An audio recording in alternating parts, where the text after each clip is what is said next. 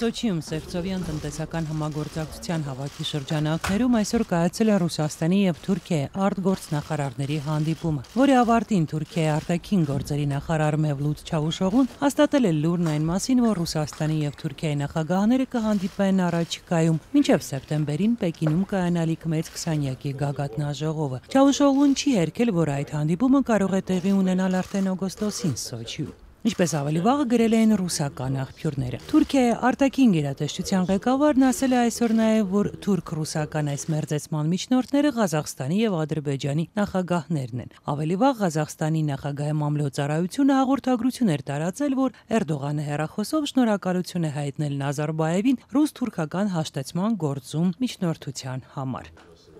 Ռուսաստանի արտաքին գերատեսչության ղեկավար Սերգեյ Լավրովը իր թուրք պաշտոնակցի հետ այսօր հանդիպումը սկսելիս ասել է, որ Էրդողանի ուղերձը Պուտինին եւ դրան հետեւած Էրդողան-Պուտին հերախոսազրույցը լավ հիմք են դրել երկու երկրների միջև հարաբերությունները կարգավորելուն ուղղված գործընթացը սկսելու համար։ Իսկ Չավուշօղլուն իր հերթին հույս է հայտնել, որ ռուս-թուրքական հարաբերությունները ոչ միայն կկարգավորվեն, այլ կհասնեն նախքին մակարդակի։ Լավրովը հատուկ ընդգծել էր համագործակցությունը Թուրքիայի հետ Սիրիայի հարցում եւ հայտարարել է, որ ստեղծվում է ռուս-թուրքական հակաահաբեկչական խումբ։ Думаю, что в рамках э, этой работы, прежде всего в рамках нашего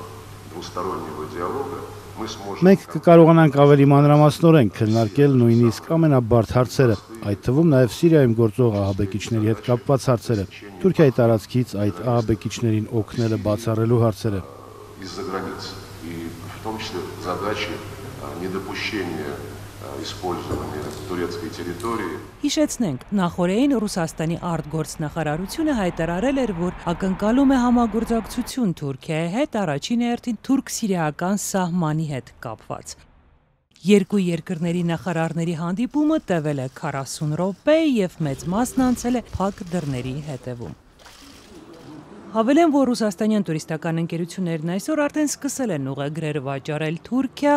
եւ չարտերային ավիահաղորդակցությունը Թուրքիայի եւ Ռուսաստանի միջև կվերականգնվի հուլիսի 7-ին։ Իսկ թուրքական Կեմեր ծովափնյա քաղաքի քաղաքապետը մտադիր է բնակարան նվիրել Սու-24 ինքնաթրի զոհված օթաչուի ընտանիքին։ Այս մասին էլ այսօր հայտնել է Անտալիայում Ռուսաստանի գլխավոր հյուպատոս Ալեքսանդր Տոլստոպյադենկոն։